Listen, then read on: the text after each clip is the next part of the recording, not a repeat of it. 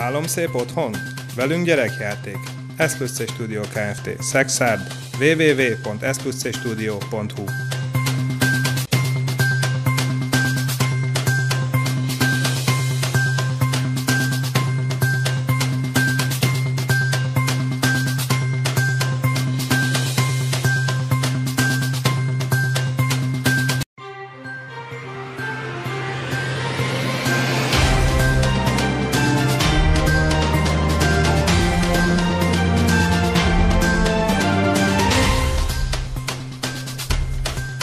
Köszöntöm nézőinket! Önök a Tolnatáj Televízió híradóját látják, Kovács Karácsonyi Dóra vagyok. Főbb témáink néhány mondatban. Útseprővel gázolták halára, az ügyész próbára bocsátást kért a gázoló sofőrre. Civil Fórum Tolnán szükség van az utánpótlásra. Kevesebben adtak vért Tolna megyében, a fiatalabb korosztályt igyekszik elérni a vérellátó szolgálat. Útseprő géppel gázoltak halára egy idős nőt Tolnamözsön. A sofőr most állt bíróság elé, tagadta, hogy ő lett volna a hibás. Az ügyész azt kéri a bírótól, hogy bocsássa próbára a gázolót. Az idősnő elgázolásával vádolt férfi egy rakodógépet vezetett Mödzsön a főutcán még 2018 telén. A gépre egy útseprő adaptert szereltek, attól nem látott ki elég jól maga elé a vádirat szerint. Az ügyész szerint túl gyorsan ment, azért nem vette észre időben a 84 éves járókerettel sétáló asszonyt. Végül az egyik kefével sodorta el. Súlyos életveszélyes sérüléseket szenvedett kórházi kezelése során a Tolna megyei önkormányzat Balajs János kórházában 2018. december 26. napján az életét vesztette. A férfi nem ismerte el a bűnösségét az előkészítő ülésen. Azt mondta, nem annyival ment, mint amennyi a vádiratban szerepel, hanem sokkal lassabban. Azt is mondta, nem vette észre, hogy elsodorta az idős asszony, csak egy puffanást hallott. Megálltam 8-9 méterre odébb, és ott néztem, hogy... Hát akkor megállt és hátranézett, hogy van-e valami esetleg? Hát miért nem szállt ki, amikor csattanás van, fölemelte a gémet, elől nincs semmi, miért nem szállt ki, hogy esetleg ott megnézze, hogy hátul van-e valami probléma, egy oldalt? Nem gondolt el, hogy körbenéz, kiszáll? Az ügyben egyelőre nem született ítélet, a következő tárgyalás májusban lesz. Akkor tanukat és szakértőket hallgatnak meg. Közel 460 millió forintból épült sportokháza Tamásiban. A közel 1500 négyzetméteres több épületből álló komplexumban helyet kapott többek között egy játszóház, aerobik és konditerem, de a súlyemelőknek, ajkidósoknak is van külön helységük, ahol edzhetnek. A beruházás a területfejlesztési operatív programból valósult meg azzal a céllal, hogy a településen működő egyesületeknek otthont adjon és minél többen sportoljanak. Több mint 40 kilót nyom ki Ósós Rihárd a Tamási Koppán Sportegyesület súlyemelője ifjúsági olimpikon az újonnan átadott sportokházában kialakított teremben.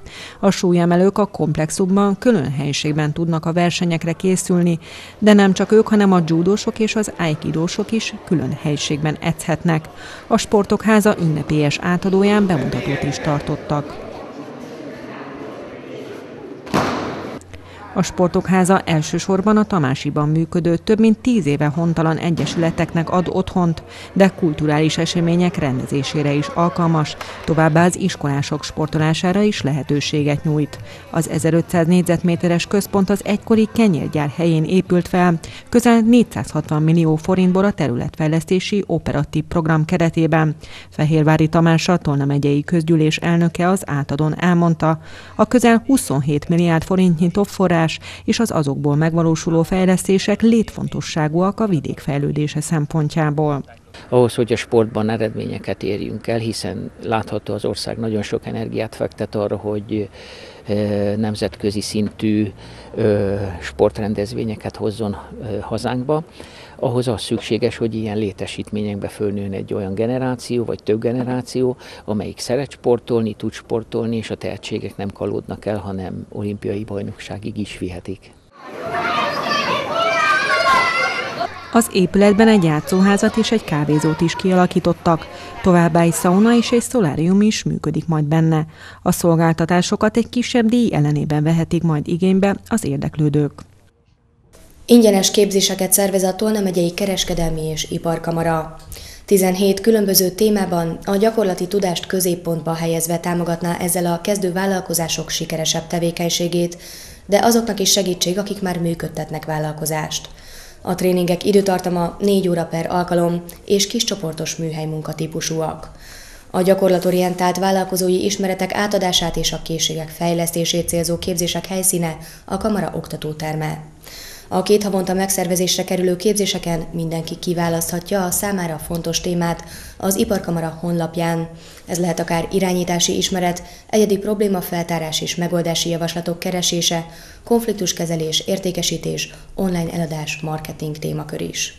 Folyamatosan célszerű bővíteni az ismereteket, pláne most, hiszen gyakorlatilag napról napra változik a piac, változnak a piaci igények, és ezt nyomon kell követni. És mindenkinek azt gondolom érdeke az, hogy saját magát, mint vállalkozás hatékonyan működtesse. A hagyományoknak megfelelően ismét tárgyalóasztalhoz ültek a város vezetői és a civil szervezetek vezetői Tolnán.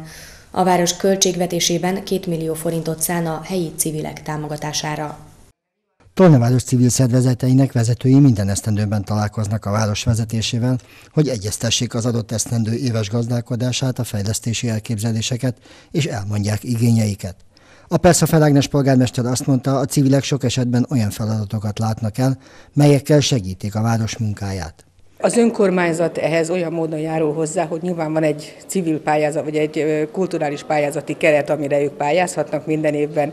Ez az idei évben is 2 millió forint lesz, mindemellett pedig ingyenesen használhatják a város létesítményeit. A civil fórumot minden esztendőben a Város Humán Bizottságának elnöke, Baksai Nékenesei Éva kezdeményezi, aki azt mondja, bár nem szűnt meg egyetlen civil szervezet sem az elmúlt esztendőkben, a fiatalok bevonására a jövő érdekében nagy szükség lesz. Az a veszély fenyeget, hogyha nem tudnak fiatalítani a civil szervezetek vezetői, illetve hát akik azért a hátukon viszik a dolgokat, akkor később probléma lehet, de bízunk abban, hogy mindenkinek sikerül majd a fiatalítás, és akkor tovább tudnak tevékenykedni. A Perszofer Ágnes polgármester azt mondta, a város minden segítséget megadj majd annak érdekében, hogy a civil szervezetek életképesek maradhassanak. Iskolákba szervez véradásokat az Országos Vérelátó Szolgálat szexárdi szervezete, hogy elérje a középkorúakat és a fiatalokat. Ugyanis egyre kevesebben adnak vért, és közülük többen is elérik a felső 65 éves korhatárt. A főorvos azt mondja, a véradók számának csökkenése eredhet abból is, hogy többen nem feleltek meg a feltételeknek. A szexárdi területi vérellátónak most az a célja, hogy növelje a véradók számát, vérre ugyanis mindig szükség van. Hetedik alkalommal nyújtja a karját Deli Rihárd a szexádi gyakorló iskolában sem először ad vért. A helyszín nem véletlen, gyermeke ebben az oktatási intézményben tanul. Azt mondja, azért tartja fontosnak a véradást, mert így szeretne másokon segíteni.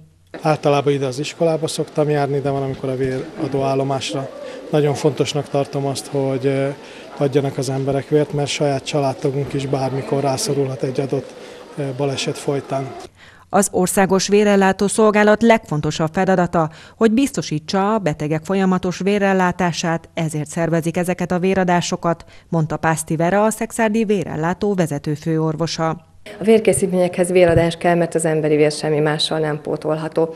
Az Országos Vérellátó Szolgálat legfontosabb feladata, hogy a biztonságos vérmennyiséggel ellássa a betegeket, a vörösvérsegy koncentrátum azonban csak 35 napig, a vérlemezke készítmény pedig mindössze 5 napig tárolható, ezért állandóan nap mint nap folyamatosan újabb és újabb véradások szervezésére van szükség, hogy ezeket a rövid lejáratú készítményeket pótolni tudjuk. Tavaly Tolna megyében több mint tízezren jelentkeztek véradásra, megközelítőleg 10%-kal kevesebben, mint 2018-ban. Pásztivera azt mondja, a véradók számának csökkenése fakadhat a kiszűrések számának emelkedéséből és az átlag életkor életkor növekedéséből is. Az iskolákba is azért szervezik a véradásokat, hogy minél több fiatalt elérjenek. A népesség átlag életkora nő, és ezért a véradók közül is egyre többen érik el a felső 65 éves korhatár. Legjobb erre a középiskolákban szervezett véradás, mert ott a 18. életévüket betöltött fiatalok adhatnak vért egy vidám, jó hangulatú közösségi élmény keretében. Az általános iskolákban, mint például a gyakorló iskolában szervezett véradásokon pedig a gyermekek szüleit tudják megszólítani. A vérrelátó szolgálat munkatársai ezt azért tartják fontosnak, mert ez a 35-40 éves korosztály a legkevésbé aktív véradás szempontjából. Az Országos Vérellátó Szolgálat minden olyan véradót kizár 30 napra a véradásból, aki február 5-e után külföldön járt. A kiszűrés a külföldi terület elhagyásának időpontjától kezdődik.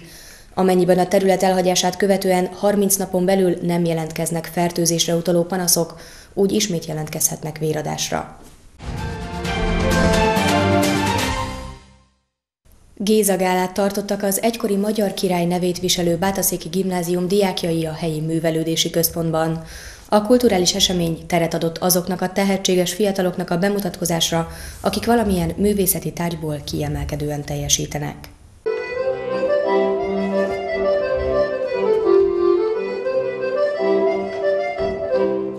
A humor és a nevetés sem maradt el az idei Gézagálán. Több mint három évtizedes hagyomány, hogy a második Géza gimnázium diákjai és tanárai megszervezik ezt az eseményt. Egyrészt jótékony célt is szolgál a rendezvény, mert ugyan a belépés ingyenes, de adományokat elfogadnak a gimnáziumért alapítvány javára, másrészt a szórakozás is teret kap. Több egyéni és csoportos műsorszámban is megmutatták a fiatalok, hogy milyen sok művészeti ágat képviselnek, ezzel is öregbítve iskolájuk hírnevét. Volt olyan tanuló, aki négyszer öltözött át és lépett színpadra. Egy-egy osztály humoros műsorszámmal lépett a színpadra, ezzel mutatva görbe tükröt a hétköznapokra a e, tanórai e, produktumokon kívül mi az, amiben valóban tehetségesek, és mi az, amiben újat tudnak adni, e, új és újat tudnak mutatni. Ilyenkor a versmondók, azok, akik zeneiskolába járnak és hangszerekkel játszanak, illetve évek, év, év, sok éves hagyomány már, hogy kialakult egy olyan rendszer, és hogy szinte licitálnak az osztályok arra, hogy ki tud jobb humoros produkciót, egy-egy jelenetet előadni. A nagy érdeklődésre való tekintettel ebben az évben is kétszer adták elő a szereplők a gála műsort, amely a második Géza magyar királyhoz kapcsolódó Géza napi rendezvények záró eseménye volt. Regionális híreink következnek. Új pályázati lehetőség a kis települések számára. 5 milliárd forintot fordít a kormány a falusi civil alapra. Felújítják a Fókamedencét a Pécsi állatkertben. Már online is megfigyelhetjük a két emlőst. Hamarosan elindul a falusi civil alap, amely az 5000 fő alatti településeken működő civil szervezetek támogatására létrejött program. A pályázati keret 5 milliárd forint és a helyi közösségeket erősítő elemeket tartalmazza, vagyis eltér a Nemzeti Együttműködési Alap elemeitől. A programmal kapcsolatos országos tájékoztató rendezvényt Gereslakon tartották. A Mecsek Polgári Egyesület nyerte el Baranyában a Civil Információs Centrum címet a 2020-2022 közötti időszakra. Az Egyesület Gereslak önkormányzatával közösen szervezte a Civil Info Falusi Civil Alap elnevezésű országos tájékoztató rendezvényt. A Falusi Civil Alap az 5000 lakos alatti településeken működő szervezeteknek jelent majd pályázati lehetőséget. Tavaly alakult egy túraszakosztályunk, pacsirtakórus klubusunk van, nyugdíjas klubunk van, és természetes, hogy minden lehetőséget kihasználunk és pályázunk és az önkormányzat, a német önkormányzat és az egyházközösség támogatásával és a pályázati lehetőségek kiaknázásával tudunk fejleszteni, ingatlanjainkat felújítani. Úgyhogy örülünk ennek a programnak. A szervezetek pályázhatnak majd rendezvények és programok megvalósítására, illetve eszközbeszerzésre, ingatlan fejlesztésre és vásárlásra, valamint gépkocsi beszerzésre is, országosan összesen 5 milliárd forint értékben. Olyan elemek vannak benne, amelyek kifejezetten a helyi közösséget erősítő eh, elemek, és eltérnek azoktól a pályázati bevett standardektől, amiket a Nemzeti Együttműködés alapban lehet pályázni. Én azt gondolom, hogy ez Gereslaknak, Baranya megyének és egész Magyarországnak is összességében véve most konkrétan ezeknek a településeknek, amelyek 5000 fő alattiak, jót fog tenni. Szalai Bobrovnicki Vince hozzátette, a baranyai civilek 20%-a pályázott a Nemzeti Civil Alapra, ami jónak mondható, hiszen ezzel ötödik a megyék rangsorában. A helyettes államtitkár bízik abban, hogy az új program is népszerű lesz a civil szervezetek körében. A pályázati kiírás április végén várható, és 2021. június 30-áig tart. Hamarosan új fókaborjú születhet a Pécsi állatkertben. Bonifác elérte az ivaréretkort, és már udvarol is párjának, Donkának. Készülve az esetleges új lakó érkezésére, kibővítik a fókák kifutóját egy sekélyebb vízű medencével. Emellett újdonság, hogy mostantól a nap bármely percében láthatók az állatok, a víz alatti kémlelőhelységben ugyanis webkamerát helyeztek el. A pécsi állatkert látogatói már jól ismerhetik Bonifácot és Donkát. A két borjú fóka hamarosan eléri az ivarérett kort. Ha még idén nem is, de két-három éven belül már lehet számítani az utódok születésére. Éppen ezért felújítás zajlik az állatok kifutója körül, a mostani medencéjük ugyanis hirtelen mélyül. Viszont, hogyha születik utód, akkor szükséges lesz egy új sekély vízű medence, hogy megtanuljon majd a kis fóka úszni eddig is használhattak egy kisebb elkülönítő medencét az állatok, viszont egy ennél nagyobb alapterületű elkülönítőt építünk, Igazából ez a medence még jelen pillanatban nincs teljesen kész, de reméljük, hogy legkésőbb egy hónap múlva, április közepén el tudjuk majd adni a látogatóink és a fókáink nagy örömére. Az új sekélyvízű medencét összekötik majd a már meglévő kifutó területével, amit körbejárhatnak a látogatók. Addig is újdonsággal készült a Mecsekoldali állatpark, mostantól akár otthonról is megfigyelhetjük a fókákat, ugyanis egy webkamerát helyeztek el a medence víz alatti kémlelő helyiségénél. Így Don Donka és Bonifác a nap bármely percében látogatható. 14. alkalommal rendezte meg az Aranyszalag Pécs RGS-e ritmikus gimnasztika kupáját. Az idei verseny különlegessége volt, hogy még Szlovákiából is érkeztek sportolók. A szezonnyitó megmérettetést Kozár Mislenyben rendezték. Lelkapó, lábkihúzás, mérleg és oldalvisszút. Leila szabad gyakorlatának elemeit sorolta fel. Az idei aranyszalag kupára a ritmikus gimnasztikával még csak ismerkedő kislányoktól a profi versenyzőkig az ország számos pontjáról és Szlovákiából is érkeztek sportolók. Országos bajnok vagyok, hát még szeretnék ugye lenni, és hát megpróbálkozom még nagyobb eredményekkel is. A gyerekek többsége néhány éve űzi ezt a sportágat. Nekem nagyon tetszenek a ruhák, meg um, ugye én nagyon szerettem volna ilyen uh, hajlékony sportot űzni, és nekem ezt tetszett meg. Az Aranyszalag Pécs RGS-e versenyzője Orsi tervei között az szerepel, hogy nem csak sportolóként foglalkozik majd az RG-vel a későbbiekben. Az országos bajnokságon harmadik helyezett, és hát igazából így, hogy jól sikerüljenek a versenyek, és majd a jövőben edző szeretnék lenni. Melyik neked a kedvenc gyakorlatod? Karika. Karika? És miért szereted a karikát? Hát, mert az a legegyszerűbb szár. A 11 éves Aranyszalag Pécs RGS-e főprofilja a ritmikus gimnasztika, de a látványtáncokat is nagyon szeretik a gyerekek. Az Egyesületben jelenleg 150 fiatal sportol. Az aranyszalagot 42 versenyző képviseli a mai, illetve a holnapi napon. Hát mivel ez egy ilyen barátságos verseny, nyilván mi azért a legjobbakat várjuk, de inkább az, hogy kipróbálni az új gyakorlatokat. Ez a szezonleges versenye nekünk, és igazándiból a lányoktól azt várjuk, hogy könnyedében egy kicsit a hazai pálya előnyében versenyezzenek. Aki kíváncsi volt a sporteseményre, most testközelből tapasztalhatta meg, hogy bizony nem is olyan egyszerű bánni a szerekkel, elképesztő ügyességkel a buzogány, a labda, a szalag és a karika kezeléséhez. Végül mutatjuk újra a legfontosabb Tolna megyei híreinket röviden. Útseprővel gázolták halára, az ügyész próbára bocsátást kért a gázoló sofőrre. Civil Fórum Tolnán szükség van az utánpótlásra. Kevesebben adtak vért Tolna megyében, a fiatalabb korosztályt igyekszik elérni a vérellátó szolgálat. Csütörtökön szép késő tavaszi időben lesz részünk csapadék nélkül. Éjszaka erősen megnövekszik a felhőzet, de csapadék továbbra sem várható. Friss hírekkel legközelebb csütörtökön este jelentkezünk, addig is kövessék műsorainkat, illetve keressenek minket a Facebookon, ahol naponta friss hírekkel, érdekességekkel várjuk Önöket. Ha látnak valamit, ami Önök szerint érdekes, akkor azt osszák meg velünk, hogy másoknak is megmutathassuk. Mára köszönöm figyelmüket, viszontlátásra!